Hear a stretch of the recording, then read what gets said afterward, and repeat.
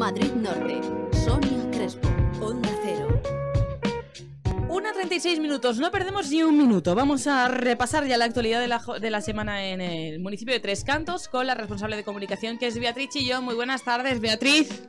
Hola, muy buenas tardes, Sonia. Vamos con, con ¿Huele por allí a Navidad ya o no? Hu- Huele un poquito a Navidad, ¿verdad? ¿Eh? Ya estamos eh, con, encendiendo el árbol, casi. No sé si este fin de semana, el siguiente, muchos son los vecinos que se animan a, a iluminar su- sus casas y también que vamos conociendo ya, bueno, pues cómo lo vais preparando en los ayuntamientos en, los, en las localidades. Pero antes de eso hay que recordar que esta semana ha comenzado con, la, con el Día Internacional de la Eliminación de la Violencia hacia las Mujeres, ¿no? Y también lo habéis, eh, bueno, conmemorado en el municipio de Tres Cantos.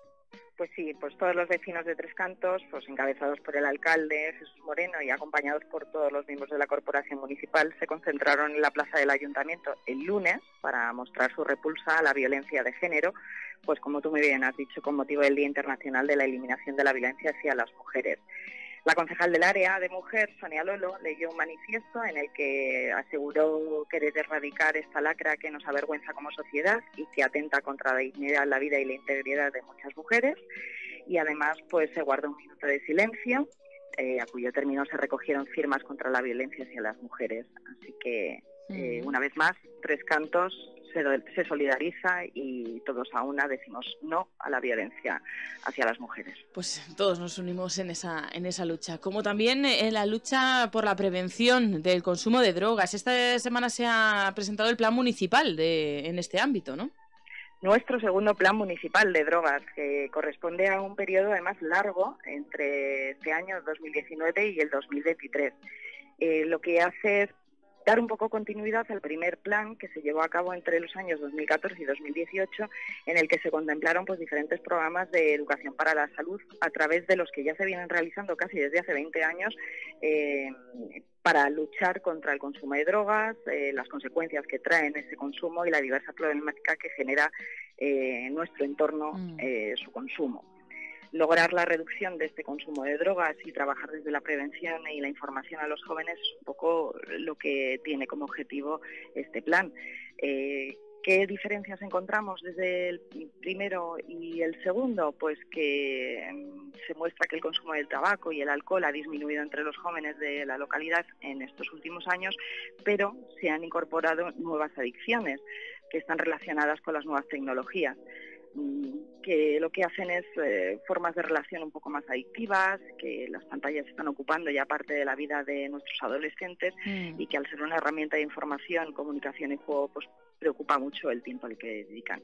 Entre estas y otras muchas, eh, el- se contemplan todas las actuaciones que el ayuntamiento, no solo desde el área de juventud, sino desde otras muchas, va a llevar a cabo en los próximos años. Si estáis interesados, yo siempre os remito a nuestra página web, en Mm. donde encontraréis esta información mucho más ampliada, con datos bastante sorprendentes, entre www.trescantos.es.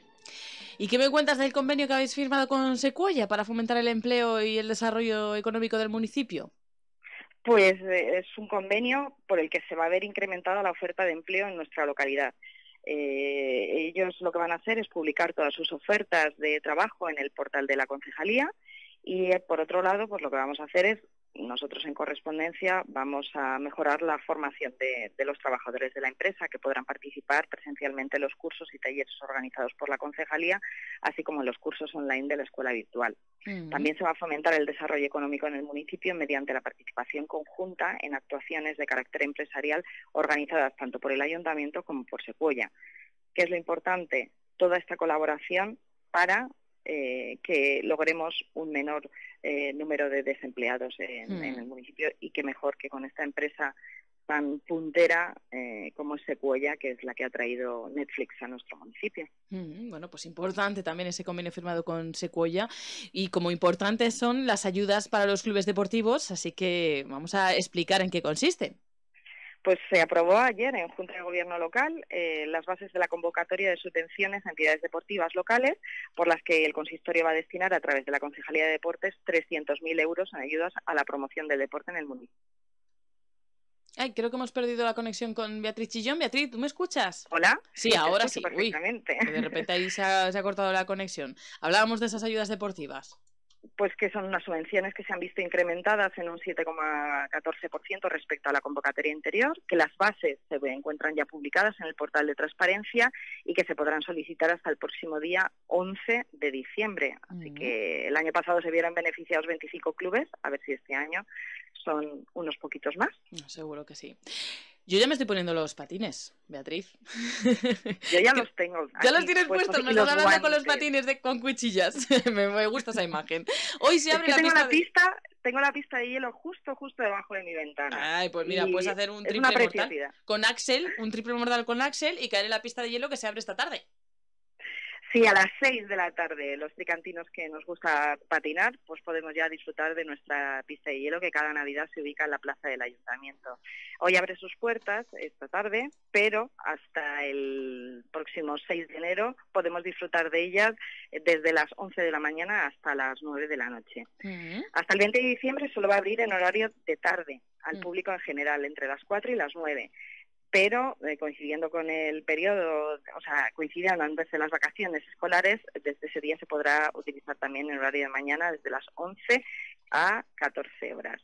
Eh, habrá días especiales a mitad de precio, descuentos para entradas de más de 10 personas, tarifas especiales por bonos de 10 eh, sesiones y yo creo que deberíais informaros de cuánto cuesta y los precios especiales en nuestra página web. Hmm. Y además también abre la churrería para ofrecer un chocolate caliente a los patinadores qué esta bien, tarde, que qué bien. hace un poco de frío. Eso. Bueno, y vamos esta tarde a la pista de hielo, pero no es el único plan que tenemos para el fin de, ¿no? Tenemos muchas citas culturales. ¿Cuáles?